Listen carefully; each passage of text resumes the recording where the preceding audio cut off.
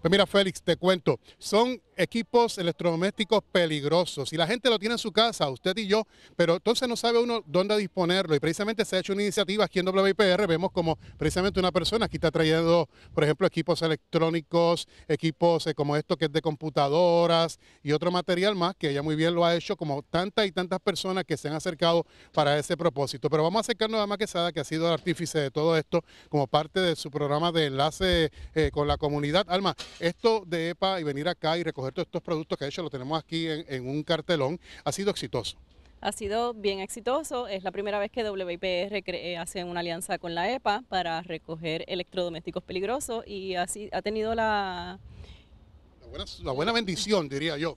Hasta con la lluvia, mira, bendita. Y ha tenido la acogida del público y han venido las personas a a disponer de esas cosas que tienen almacenadas en su casa, a veces hasta por año. Por año. Ahí vimos, eh, bueno, podemos acercarnos con el compañero Jorge Negrón para que vea que hay, mira, equipos electrónicos, electrodomésticos, o como se le llama, yo sé que hay diferentes maneras, pero también hay, por ejemplo, pailas de pintura viejas que la gente las, las tenía ahí en su casa, como tú dices, y que no las estaban usando y que lo que hacía era daño, porque esto se convierte en un químico que puede afectar a la comunidad y a la familia. Es bien importante que la gente cree conciencia de que estos equipos no se pueden echar a la basura porque pueden crear un problema para nuestro planeta. y aquí vemos un equipo bastante amplio de la EPA, eh, han venido los directivos, todo esto lo están eh, pues anotando, certificando y han salido varios vehículos. Han salido varios vehículos, varios camiones, superamos la, nuestras expectativas, era recoger alrededor de 3.000 artículos y sobrepasamos los 4.000. Así que fue todo un éxito.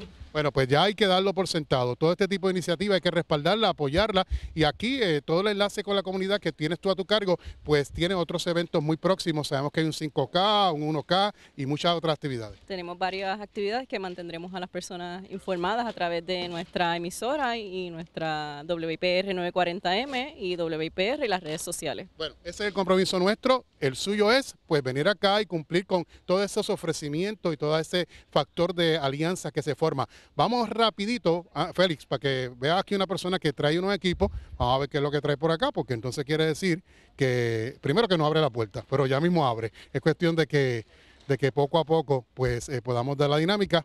Bueno, ahora, ahora, ahora ya veremos. Que creo que mientras no suelte el freno allá no abre. Pero en esencia veremos cómo este, este equipo que se ha traído, pues ha sido a nivel colaborativo y permite que la persona, mira, aquí vemos los tubos estos que se utilizan, que son luces frías, que también donde uno los, puede desechar. Bueno, pues de esta manera Caballero, dígame, cuénteme, ¿esta iniciativa le parece muy bien? Oh, tremendo, tremendo. Ha sido tremendo. Nosotros eh, hemos traído no solamente tubos fluorescentes, sino monitores, keyboard, hard drive. Ha sido excelente. o sea, que han venido más de una ocasión. Sí, sí, esta es como la segunda o tercera ocasión que venimos. Pues lo felicito, lo agradecemos. ¿Cuál es su nombre? Francisco, Francisco Timote. Francisco. Timote. Bueno, muchas gracias por la colaboración y por ser parte de toda esta iniciativa. Amigos, vamos a entregar allá a Félix para que recibas esta información que hemos brindado, que sabemos que ha sido de mucha colaboración y sobre todo de grandes y muy buenos resultados. Continuamos con eh, Noticias 24-7.